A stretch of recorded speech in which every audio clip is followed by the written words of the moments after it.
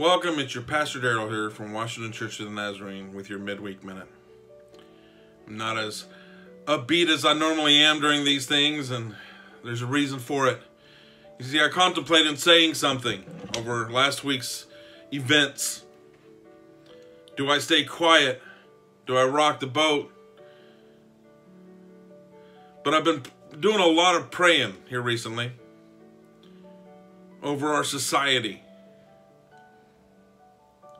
and it doesn't matter what your occupation is. Doesn't matter where you come from, what your heritage is, or what color of the skin is.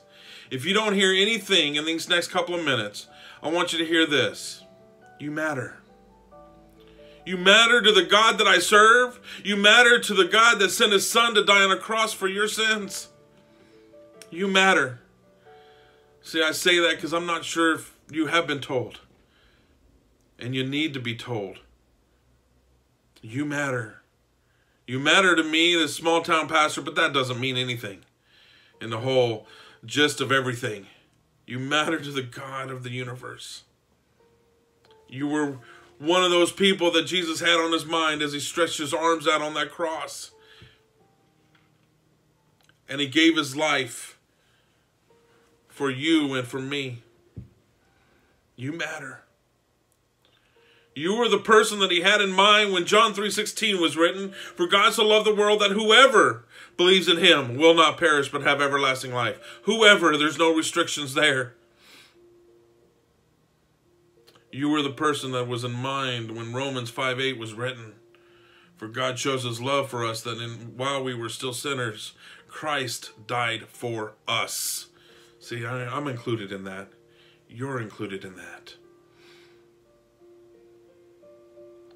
We have come to know and to believe the love that God has for us. God is love. Whoever abides in love and abides in God, God abides in him. That's out of 1 John 4.16.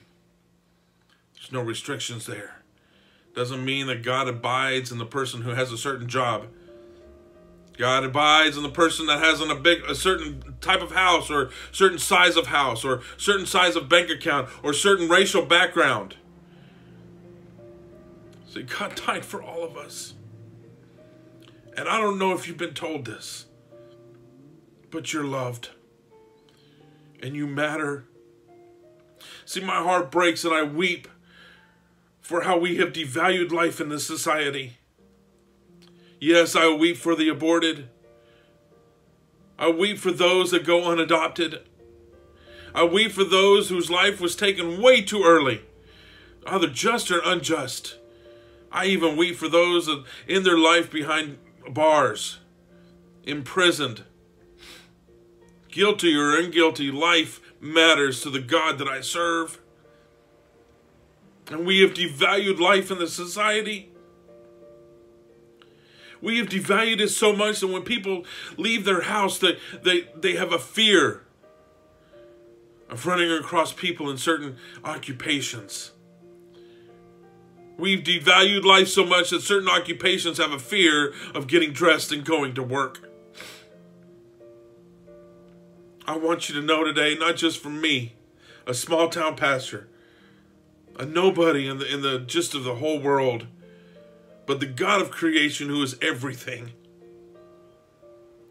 He values you. Doesn't matter where you've been from, where you've come from, what you've done like that father to the prodigal son. He runs to meet his son, and he's standing at the door looking out for you, waiting for your return. You matter to him. Take a moment, we're going to pray. I pray over this society and the world that we live in every day. And, it, and it, it's striking me today. So I apologize if it's not the upbeat message that you've come to understand or, or enjoy over the last 32, 31 weeks, however long it's been. But I think it needed to be said. You matter. Father, I thank you so much for this time. I'm asking that you don't whisper in their ears. You shout with uncertainty to that person today that's listening that doesn't believe that their life has any value who don't believe that they matter anymore. Lord, I ask that you shout that you love them. Call them loud and clear. Let them know their worth. Let them know that they matter and that you love them. Love them enough specifically to send your son to die on a cross.